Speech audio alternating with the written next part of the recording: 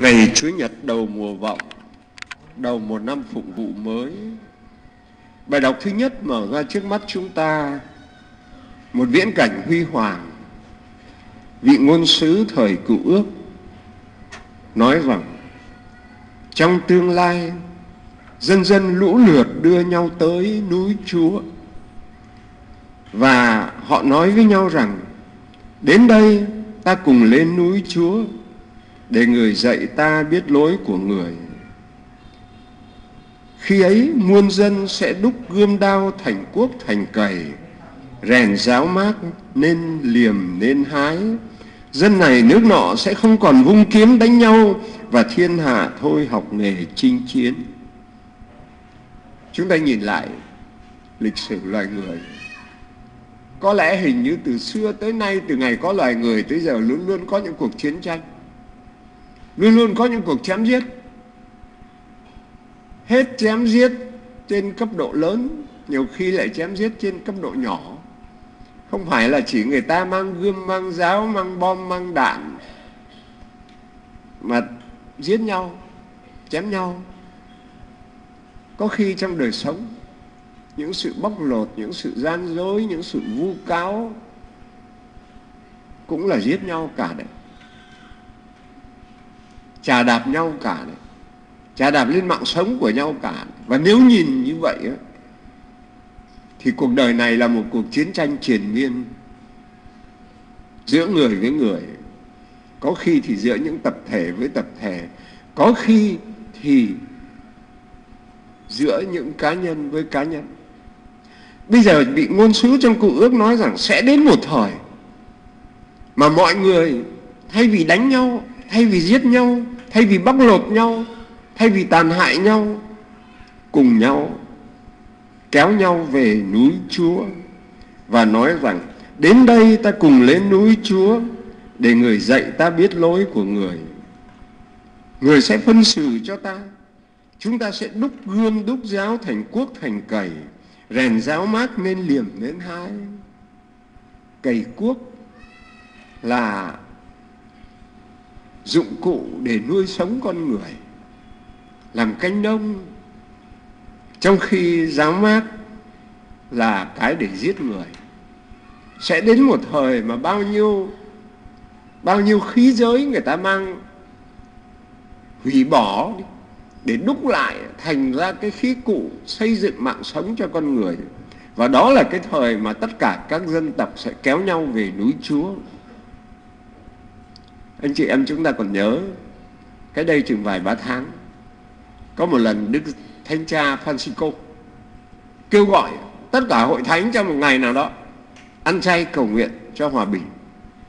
Bởi vì sao? Bởi vì khi đó đang có một cuộc chiến tranh ở một cái đất nước cũng thuộc châu Á chúng ta, nhưng mà xa bởi vì chúng ta là Đông Nam Á mà bên kia họ là Tây Á cũng là một nước châu Á đấy Syria đang đánh nhau dữ tợn và hôm nay cũng vẫn còn đang đánh nhau. Nhưng mà trong cái hôm mà Đức Giáo Hoàng kêu gọi cầu nguyện đó, hình như là cái nguy cơ đánh nhau giữa các nước nó nó cao lên nhiều bởi vì khi đó các nước lớn như nước Pháp như nước Mỹ đều huy động lực lượng quân sự hùng hậu của mình để chút xuống trên đất nước Syria một cái trận mưa bom khủng khiếp. Đức Giáo Hoàng kêu gọi toàn thế giới cầu nguyện để cái chuyện đó đừng xảy ra. Đừng trầm chất thêm bạo lực, đừng giết thêm những con người, đừng làm cho hận thù đã cao rồi lại còn cao hơn. Khi Đức Giáo Hoàng kêu gọi cái điều đó, nhiều người cười. Họ bảo vớ vẩn bao nhiêu là công trình của chính trị, của quân sự, bao nhiêu là tiền bạc, bao nhiêu là khí giới đổ ra còn chưa đi đến đâu. Bây giờ lại bảo là ăn chay cầu nguyện. Tối hôm đó trên quảng trường thánh phêrô, đức thánh cha đặt mình thánh chúa. Mấy chục ngàn người quy tụ chung quanh ngài, cầu nguyện trong suốt ba bốn tiếng đồng hồ. Vậy mà chúa nghe. Ngày hôm sau tự nhiên xảy ra những diễn biến. Và mấy nước lớn mà đang mang bom, mang đạn, mang máy bay, mang hỏa tiễn, mang tên lửa đến để định chút xuống đất nước Syria, tự nhiên tìm ra một cách không phải làm cái việc đó nữa. Thế thì cho tới hôm nay, đấy là một cái ơn mà Chúa ban khi mà tất cả hội thánh cầu nguyện. Nhưng mà chúng ta cũng vẫn thấy rằng chưa diệt hết được cái mầm chiến tranh, bởi vì cho tới hôm nay, tuy rằng cái cuộc chiến rất lớn nữa, nó không bùng nổ, nhưng mà trên cái đất nước đó người ta vẫn giết nhau ghê gớm là bởi vì sao bởi vì chúng ta chưa đến được một cái thời mà tất cả các dân, các nước đều kéo nhau lên núi Chúa. Có những người đã muốn hướng về núi Chúa rồi, có những người chưa. Cho nên một đàn thì cái cố gắng của hội thánh, cố gắng của những người tin theo Chúa có tác động, có tác động làm cho cuộc sống nó bình an hơn. Nhưng không được hoàn toàn cuộc sống vẫn có những cái điều ngang trái vẫn có những cái tội lỗi nhưng cái điều đó cho thấy rằng chúng ta đang hướng về đang hướng về một cái tương lai hội thánh chúa đang đi trên đường chưa tới nơi, nhưng mà đang hướng về đang hướng về cái lúc mà thiên chúa làm chủ mọi sự trong mọi người và lúc ấy mới là cái thời hạnh phúc của tất cả nhân loại. Chính vì vậy mà Hội Thánh dạy cho chúng ta để ý tới những thời giờ Chúa đến. Chúa đến lúc nào, thưa anh chị em? Khi nào thì cái điều đó sẽ xảy ra? Có một lần đã xảy ra và chúng ta đang hướng về cái ngày đó. Bốn tuần lễ mùa vọng này chúng ta sẽ hướng về lễ Giáng sinh. Chúa Giêsu đến là Chúa đã đến trong thế gian. Chúa đang ở trong thế gian rồi và bây giờ bởi vì Chúa đã ở trong thế gian rồi thì có những cái lúc mà Chúa đến trong cuộc đời chúng ta. Ví dụ, anh em chị em chúng ta sống giữa cuộc sống gian nan lắm, khó khăn lắm và có nhiều khi chúng ta gặp những cơn cám dỗ. Có nhiều khi chúng ta phải chọn lựa như thể là đứng giữa ngã ba đường. Phải chọn cái tốt hay là phải chọn cái xấu chọn cái con đường này thì hình như là đi đến nước chúa mà chọn cái con đường khác ở giữa cái ngã ba đường nó chọn đi bên này hình như sẽ đến gần nước chúa chọn đi bên kia. Như đi xa chúa, không biết là đi đâu. Đó gọi là chưa cám dỗ. Khi mà chúng ta đứng trước cái ngã ba đường mà phải chọn lựa như vậy. Và giống như cái câu ca dao mà trong các sứ đạo đồng bằng bắc bộ của mình ngày xưa hay nói, thiên đường, địa ngục đối bên. Ai khôn thì lại, ai dại thì qua. Đêm nằm nhớ chúa, nhớ cha đọc kinh cầu nguyện kẻo xa linh hồn linh hồn ơi hỡi linh hồn chúng ta luôn luôn đứng trước cái sự chọn lựa chúa đến và chúng ta chọn đi theo Chúa hay là chọn đi một chỗ khác. Cho nên lại một lần nữa Thánh Phaolô trong bài đọc thứ hai nói với chúng ta rằng đêm sắp tàn, ngày gần đến. Nghĩa là Chúa ở quanh quẩn đâu đây rồi. Chúa gọi chúng ta rồi. Bây giờ Chúa giống như chúng ta đang ở trong một căn phòng mà nghe như là có tiếng chân người quen. Đã đi ở bên ngoài, chúng ta chưa nhìn thấy cái người quen đã xuất hiện. Nhưng mà đã nghe tiếng chân đi bên ngoài phòng đã nghe tiếng nói của người quen ở bên ngoài vọng vào phòng chúng ta rồi. Chúa đến, Chúa ở gần và cứ mỗi một lần Chúa đến như vậy đấy, thì chúng ta được chọn lựa có đáp lại không có đi theo Chúa không hay là đi theo cái gì khác Chúng ta không biết. Cho nên Chúa Giêsu nói thế này. Người ta có thể vô tâm, vô tình. Thời ông Noe đấy. Thiên hạ vẫn ăn uống cưới vợ lấy chồng. Nghĩa là người ta vẫn làm những cái chuyện như từ xưa tới nay người ta vẫn làm.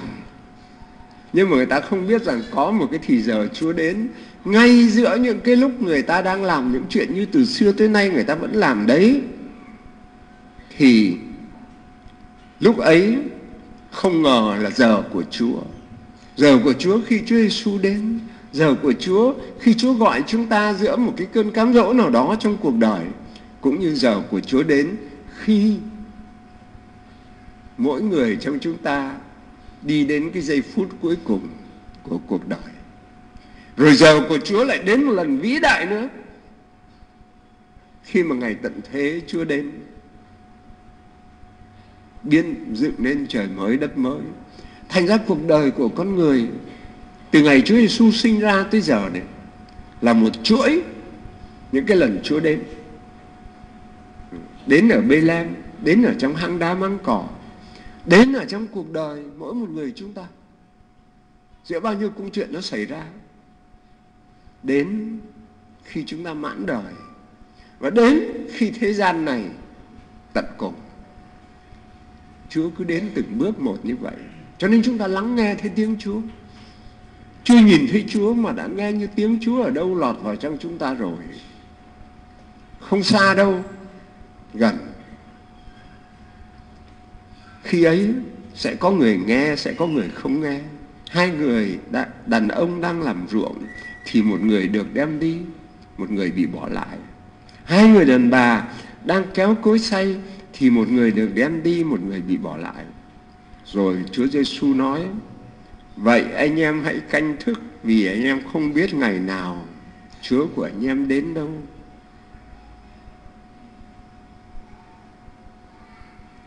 Tôi cứ nhớ, có lẽ đến gần lễ Noel này người ta sẽ ăn chơi dữ những người có tiền. Tội lỗi nữa. Sau mỗi lễ Noel, khối người đi phát thai. Hóa ra lễ Noel là một cái lễ mừng Chúa đến. Nhưng mà người ta còn đang nghĩ tới chuyện ăn chơi. Không nghĩ rằng cái ngày của Chúa đến. Thánh Phaolô cũng nói một điều giống như vậy đã đến lúc anh em phải thức dậy vì hiện nay ngày Thiên Chúa cứu độ chúng ta đã gần hơn trước kia khi chúng ta mới tin đạo. Ngày của Thiên Chúa đã gần hơn trước kia. Hóa ra từ trước tới nay, những lúc mà chúng ta buông mình mà chúng ta sống theo thế gian đấy, giống như chúng ta ngủ mê, giống như chúng ta ngủ mê. Ngủ mê là thế nào? Đêm mình nằm ngủ rồi mình cũng thấy chuyện này, chuyện kia. Mình cũng thấy ờ, mình ở trong những cái tình huống thế này, thế nọ. Nhưng mà hóa ra không thật. Đấy là giấc ngủ. Còn khi mình tỉnh ngủ, mình mở mắt ra thì đấy mới là cuộc đời thật. Nhiều khi người ta sống trong cuộc đời này mà như trong một giấc mơ vậy mấy hôm vừa rồi ờ, cộng đoàn chúng ta vừa mới đón tiếp một số các anh em người dân tộc họ tới đây. Họ đánh cồng đánh chiêng mà cũng rất là thu hút anh em chúng ta. Tôi nhớ thấy có một cái câu chuyện trên tây nguyên ấy. câu chuyện của anh chị em dân tộc. Mình lên trên tây nguyên đó mình thấy những cái mộ của anh chị em dân tộc. Theo cái kiểu cổ truyền của họ và trong những cái ngôi mộ cổ truyền nó bốn góc nó hay có bốn cái bức tượng bức tượng gỗ. Là những con người đáng khóc. Mình mới đến mình tưởng đơn sơ là bốn cái tượng bốn góc mà đang, mấy người đang khóc này là người sống mà khóc cho người chết. Tiếc thương người chết. Nhưng mà hóa ra anh em dân tộc họ giải thích ngược lại. Họ bảo không đấy là người đã chết khóc thương người đang sống và họ kể cái câu chuyện như này và có một cái anh thượng gần ngày dỗ bố của anh anh vào rừng. Thì anh đang đi trong rừng. Tự nhiên gặp ông bố đang đấy. Anh lạ quá. Anh nói, sao bố ở đây? Ông bố cũng nhìn lại vào sao con ở đây?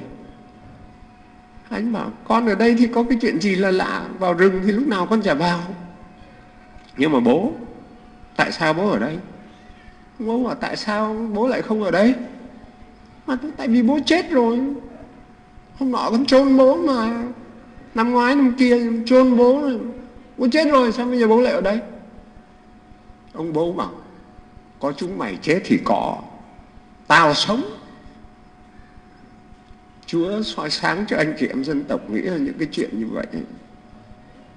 Có ý nghĩa sâu lắm ý nghĩa sâu lắm. Họ cũng chỉ bốn cái bức tượng. Đây không phải là người sống, không người chết. Đây là người chết, không người sống. Người chết ấy bây giờ mới mở mắt ra, mới tìm thấy cái thi, cái thế giới của Chúa và mới biết rằng như vậy mới là sống. Còn sống mà như người ta vẫn đang sống bây giờ mà đâm chém nhau, lừa lọc nhau, bóc lột nhau, gian dối với nhau, cái đó là chết chứ không phải là sống nhưng mà người ta vẫn ở trong cái chết đó. Chúa đến và Chúa nói, anh em hãy canh thức. Thánh Phaolô, tông đồ của Chúa thì nói, anh em phải thức dậy đi, đừng ngủ mê nữa. Vì hôm nay, giờ này, giây phút này, ngày thiên chúa cứu độ chúng ta đã gần hơn trước kia. Đêm sắp tàn, ngày gần đến chúng ta hãy loại bỏ những việc làm đen tối và cầm lấy vũ khí của sự sáng để mà chiến đấu. Khi mà đức thánh cha Francisco mà kêu gọi chúng ta ăn ăn sám hối, ăn chay cầu nguyện và làm những công việc bác ái và làm những công việc hòa bình, là vậy đấy. Là cầm lấy vũ khí của sự sáng để chiến đấu với những vũ khí của sự gian tà đừng chiều theo tính xác thịt nữa. Đừng chiều theo cái tham sân si của con người nữa. Cái này là một cái lời kêu gọi cho mỗi một người chúng ta. Đừng à, suy nghĩ chung chung cho toàn thế giới, cho toàn xã hội làm gì. Mỗi người chúng ta hãy tự hỏi, trong cuộc đời tôi đang sống bây giờ phút nào là phút tôi ngủ mơ? Phút nào là phút tôi nhìn thấy chân lý? Phút nào là đêm đen? Phút nào là bình minh rạng sáng? Có đấy. Mỗi người chúng ta tự hỏi lấy mình, nhìn lại cái kinh nghiệm của đời mình và tự hỏi lấy mình và hội thánh. Trong khi bước vào năm phụng vụ mới với Chủ nhật thứ nhất mùa vọng năm hôm nay, và hướng lòng chúng ta về lễ Giáng sinh, nhắc nhở chúng ta như thế, Chúa đến Chúa đến Chúa đến Chúa đến. Chúa ở gần, thức dậy đi, lắng nghe tiếng Chúa đi mở mắt ra để thấy một ánh sáng mới. Thấy một ánh sáng mới trong lòng mình. Chúng ta đã bắt đầu cái chương trình đó. Bắt đầu cái chương trình đó và hy vọng rằng lễ Giáng sinh năm nay, đối với mỗi một người chúng ta là một giây phút Chúa đến. Soi sáng toàn bộ con người. Tình thương của Chúa bình an của Chúa là cái ta có thể tìm thấy trong cuộc đời này. Có lẽ ta xác thịt yếu đuối lắm, nhưng mà xin Chúa đi. Chúng con chờ Chúa. Chúa không bỏ. Chúa coi những cái lời cầu nguyện của chúng ta là chân thành. Và xin đừng để cho đến ngày Noel mới đi xưng tội, cũng đừng để đến ngày Noel mới làm tiệc tùng, mới à, trang hoàng nhà cửa. Bắt đầu cái cuộc bước đi trong ánh sáng đó từ ngày hôm nay. Amen. Xin mời anh chị em tuyên xưng đức tin. Tôi tin